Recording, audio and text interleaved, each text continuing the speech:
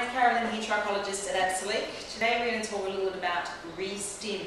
Restim is a topical application we use to move DHT away and it's used for female pattern thinning and male pattern thinning. It is not hair loss. Now we do a quarterly newsletter. We have written the specific instructions in that newsletter. If you don't have one, then email us. It's info at absolique, A-B-S-O-L-I-Q-U-E dot com.au and we will email that to you.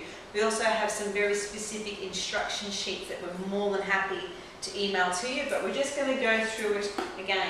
Now, I think the reason why we have so many questions about how we use Restim is it's very different to Rogaine. Now Rogaine is the popular formula of minoxidil, however it has an ingredient in it that I don't like, which is propylene glycol.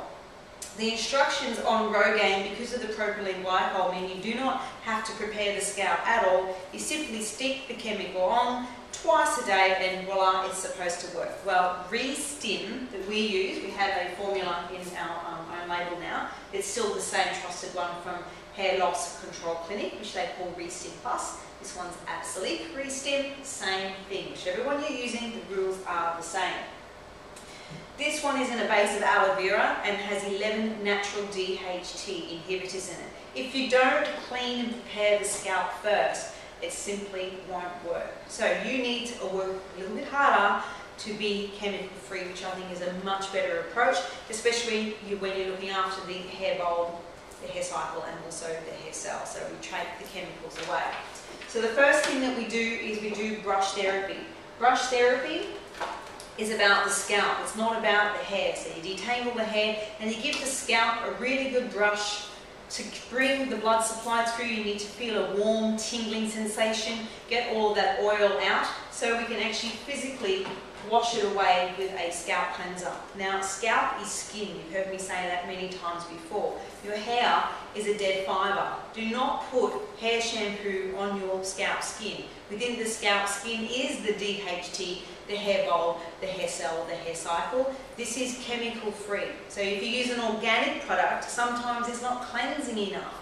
So when you've done scalp brush therapy, a specific scalp cleanser, we have made one to make it easier for you if you want to use it. If you need to get it from where you are, we will send you the ingredient list and you find one that is similar. Important to make sure you use a scalp cleanser. Always at least two scalp cleansers as well. You've got to get a foam with this stuff because we're taking the chemicals away. Sometimes you need three or four, but you keep doing it until you have a proper foam and focus all over the scalp as well. The next thing we want to do is open the hair follicle. So we need to open the follicle because the target site is down underneath. So we need to clean the surface to get through. So we have a scalp tonic. Okay, so it's different to a toner you would use on your face. We're opening things up. Again, we've made a formula that's chemical free. You can either use ours or we'll send you the ingredient list and you source one that works. You do that in your treatment area. So for Restim, your treatment area is female or male pattern thinning which is only the pattern. If you're doing treatment for the hair cycle, it's over the entire scalp, so you need to decide which one you're treating. Depending on that, the next step is going to be when you're out of the shower. So once you've done your brush therapy out of the shower, scalp cleansing, scalp tonic, you then wash and condition your hair if it's longer than 15 centimeters long. Okay, keeping it off the scalp. Out of the shower, towel dry. Then we're going to use our micro needle. Okay, we use the scalp roller, they're called derma rollers, all sorts of things, but the main point is that the uh, needles that are on it are acupuncture needles, that they're of high quality and they're no longer than 0.75 of a millimetre long. So they have needles for the face, they're too deep for the scalp and they can actually do some damage and they really quite hurt. So this one is a 0.75 millimetre. Again, we have information sheets that we can email to you if you email a request to us. When we're using the microneedle, what it's doing is creating all these tiny channels in between the follicles. It also creates an injury reaction of the cell, which is natural, so it creates a healing power.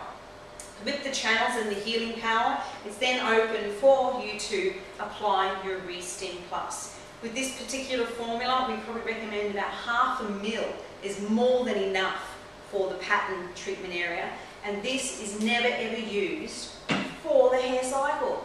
Okay, this is about DHT, dihydrotestosterone.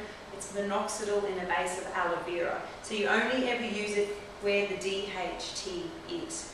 You can use that same prep if you're using something like the Ampule, which is for the hair cycle, that's fine. If you're using the two together, you always need to dry the scalp before restim. Now that's important. Always dry the scalp before restim because you don't want to have any liquid or moisture on the scalp to dilute it. So a blow dryer is the best thing because you've got to work fast whilst you can feel the coldness of the tonic. It's a natural preparation, it's easy to do once you know how. We've done many videos on it. Again, instruction sheets, information sheets, whatever you need for us to help, but please do it right. All right, thank you.